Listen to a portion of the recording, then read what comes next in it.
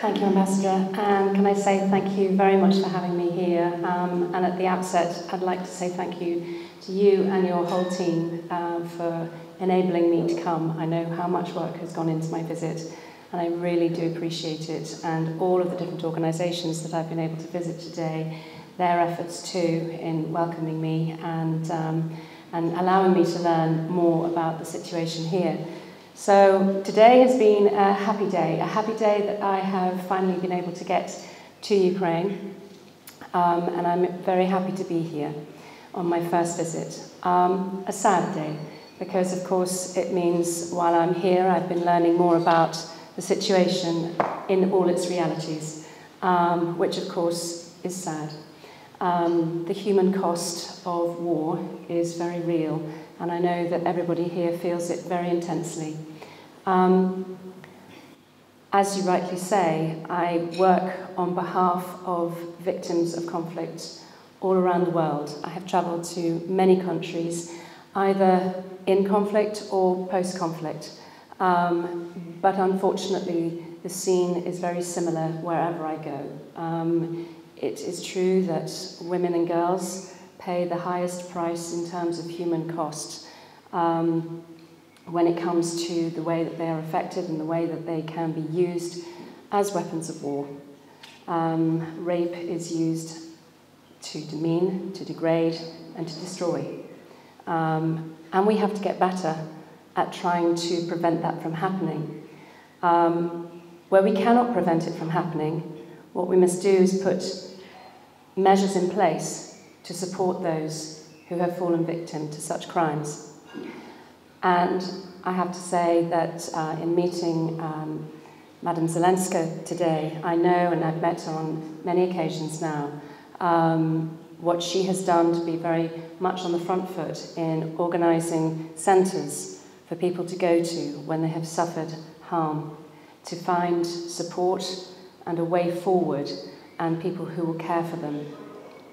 Documenting um, the crimes are extremely important too, so this is where it's really, um, I, I, was very pleased to see what, what the work has, has, has taken place here. Um, and it is very much still in the early stages, but it's, it's wonderful and I'm, I'm pleased that the British government is supporting this humanitarian effort because it is really important further down the line. Um, I was, I've been meeting with survivors of sexual violence and the conflict um, I thank them for their honesty in telling me what happened to them. Their stories are sad, and I hear many stories like theirs, sadly, from around the world. Um, but I appreciate their time and their openness. Um, but I know with the help of the survivor centres that they, they will get back on their feet and they will be able to move forward. Um, this afternoon, uh, Survivors for Ukraine was a wonderful opportunity to see an organisation that's really looking after children, looking after families, putting families first, um, and they're doing a wonderful job. Um, to be able to meet with some of the people who also have played a large role in Bucha, in Irpin, and to see how they helped their, their communities in times of great desperation and need um, was a humbling privilege, um, and I shall take their stories home in my heart. Um, more than anything, it is a, an enormous pleasure to be here, to see you, Katerina.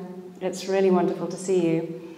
It seems like about five lifetimes ago that we first met in New York when you were so desperate and you had travelled a long and arduous journey to get there and you were begging for help. Um, it seems like a long time ago. And we have had the opportunity to meet on other occasions as well. And in fact, I was truly humbled to stand on the stage with you in Washington when both you and I received our awards from Hillary Clinton um, at the Georgetown Institute, which was uh, a wonderful experience. I very much felt um, that yours was truly deserved, um, and mine. I, my, my role is to do these things and to represent people who cannot speak for themselves. But uh, you have put yourself out there, and I know you continue looking after people and doing what you can for the people of Ukraine. Um, is Natalia here? Because Natalia. Oh, there you are, Natalia. We share the stage as well, and it's a pleasure to see you as well. Um, and I'm, I'm in awe of, of everything that you're doing. And I, I've met so many wonderful Ukrainians, in fact, in the United Kingdom, who have um, found a home over there. And what has been interesting is also to see the people who live and were already living in the UK stepping forward and helping their fellow countrymen and women to try and settle and find some kind of, of, of peace for now. But of course, what is true is that the hearts of every Ukrainian that I've met in the United Kingdom, their hearts remain here. They would like to return home one day, and God willing, that will happen. But for the meantime, thank you for the visit. Thank you for welcoming here, me here. Um, it's an honour to be here, and, and it's wonderful to see you. And Ambassador, thank you again for everything that you've done to help this, this happen.